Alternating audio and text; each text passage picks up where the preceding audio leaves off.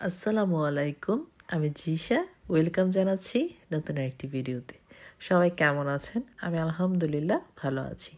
তো চলে আসলাম আবার আবার নতুন একটা রেসিপি নিয়ে। আর এই রেসিপিটা বাঁধাকপির। কে কে খেয়েছেন আমাকে বলবেন তো আর যারা খাননি এখনও তারা অবশ্যই বাঁধাকপি যখন আনবেন, এভাবে বানিয়ে খেয়ে দেখতে পারেন।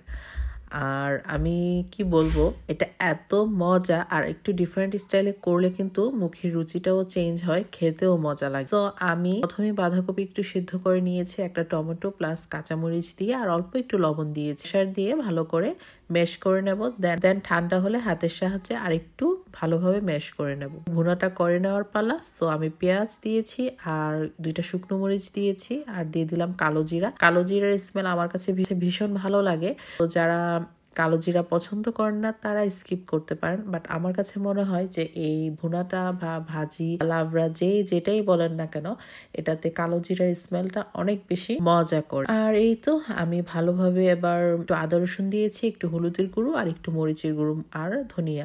মরিচের গুঁড়োটা খেয়াল রেখে দিতে হবে, কারণ শুরুতে আমি কাঁচামরিচ যেহেতু ম্যাশ করে নিয়েছি, একটু ঝাল মানে ঝালটা পুরাটা বাঁধাকপিতে ছড়িয়ে যাবে প্লাস দুইটা শুকনো মরিচও আছে।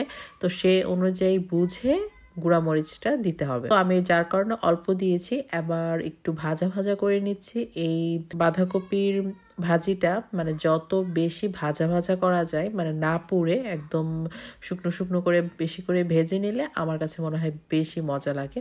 সো আমি খালি খালি অনেকটুকু মানে ভাত ছাড়াই অনেকটুকু খেয়ে ফেলেছি। অবশ্যই যারা এখনও ট্রাই করেননি ট্রাই করে দেখতে পারেন। ভীষণ মজার একটা রেসিপি আর যারা ধনিয়া পাতা পছন্দ করেন, উপর উপর দিয়ে একটু ধনিয়া পাতাও দিয়ে দিতে পারেন। আমি আজকে আর দিলাম না। পর্যন্তই সবাই ভালো থাকেন। আল্লাহ হাফেজ।